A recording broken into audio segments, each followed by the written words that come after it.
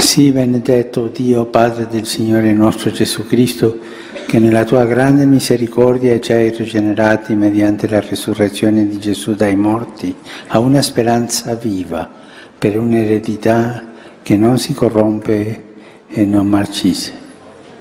Ascolta la preghiera che ti rivolgiamo per tutti i nostri cari che hanno lasciato questo mondo. Apri le braccia della tua misericordia e riceveli nell'assemblea gloriosa della Santa Gerusalemme. Conforta quanti partecipe della vittoria pasquale del tuo Figlio. Tu, che sul cammino della Chiesa hai posto quale segno luminoso la Beata Vergine Maria, per sua intercessione sostieni la nostra fede perché nessun ostacolo ci faccia deviare dalla strada